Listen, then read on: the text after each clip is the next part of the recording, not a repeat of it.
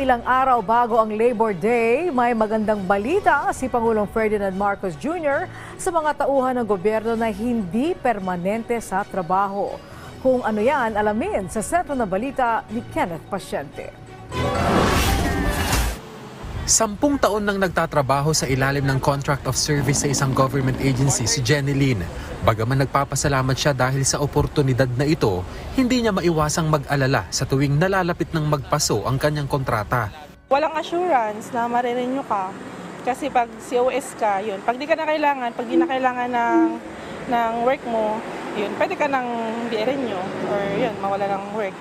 Ang pangamba na yan ni Jenny at ng libo-libo pang mga empleyado sa pamahalaan na nasa kaparehong status of employment, pinawi ni Pangulong Ferdinand R. Marcos Jr. Sa sectoral meeting sa palasyo kasama ang DBM, DILG, COA at Civil Service Commission, ipinag-utos ng punong ehekutibo ang pagpapalawig pa ng employment ng mga JO at COS employee na nakatakdang magtapos ang kontrata ngayong Disyembre. In-extend ito ng Pangulo hanggang sa katapusan ng Disyembre sa susunod na taon.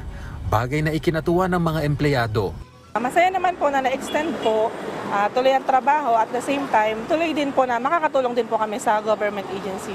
Less worry po na by 2024 wala nang job. assurance din siya sa aming mga COS. Siyempre na nakakatuwa na ano, may assurance ka until 2025.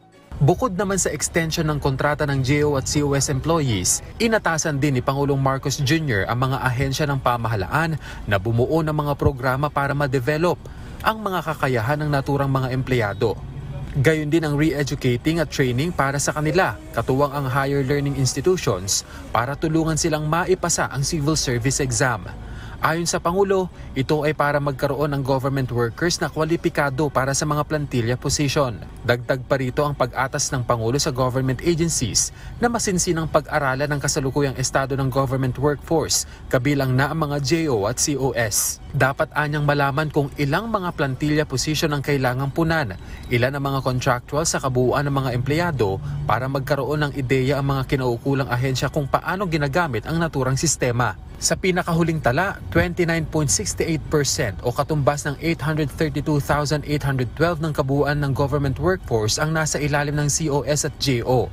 Pinakamarami rito ay sa DPWH na sinundan ng DOH, DepEd, DSWD at DENR. Kenneth Pasyente para sa Pambansang TV sa Bagong Pilipinas.